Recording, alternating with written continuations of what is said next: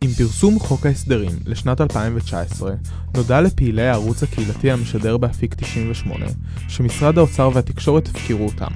עקב שינוי ברגולציה, לא יהיה מי שיתמוך כלכלית בערוץ.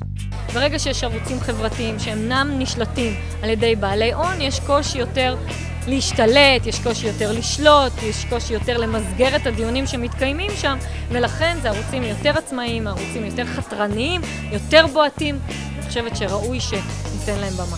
בערוץ הקהילתי משדרים מעל 100 גופי שידור מכל רחבי הארץ במגוון שפות, נושאים ועמדות.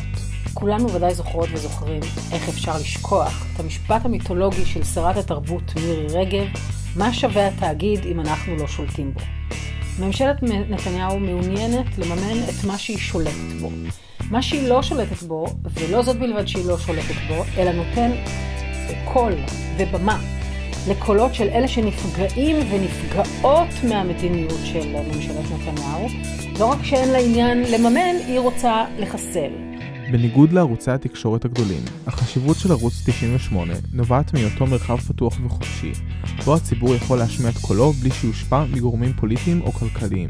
כל ההתעסקות האנטי נגד הערוצים הקהילתיים, מכיוון שהם יותר עצמאיים, הם לא נשלטים, הם אומרים עמדות מגוונות יותר, הם מרשים לעצמם באמת להגיד אולי מה שהערוצים המיינסטרים מפחדים להגיד. אני בעד ערוצים קהילתיים, אני בעד כמובן הטלוויזיה החברתית, אני חושבת שזה נכון שיהיה קול לציבור. הציבור צריך להשפיע, הציבור צריך להשמיע את דברו, ולא תמיד הציבור יכול להגיע לפריים טיים של ערוץ 2 או ערוץ 10, ואפילו לא ערוץ uh, הראשון. ולכן חשוב מאוד שיהיו הערוצים הקהילתיים. ממשלת נתניהו עושה עכשיו אה, מהלך חקיקה מזעזע של אה, הכשרת ערוץ 20 למשל. היא הולכת לתת להם רשות לעשות דברים שלא יעלו על הדעת בתקשורת במדינה דמוקרטית. אבל היא עושה את זה. אז בוודאי ובוודאי שכשאלה הקולות היחידים שהיא מעוניינת לשמוע, היא רוצה לסתום את הפה לקולות שמדברים על אי השוויון שהיא מייצרת, שמדברים על ההסתה והפילוג והקרע והשיסוי שהיא מייצרת בכל מקום אחר. אז אה, כן, גם הערוץ החברתי הוא קורבן לדבר הזה.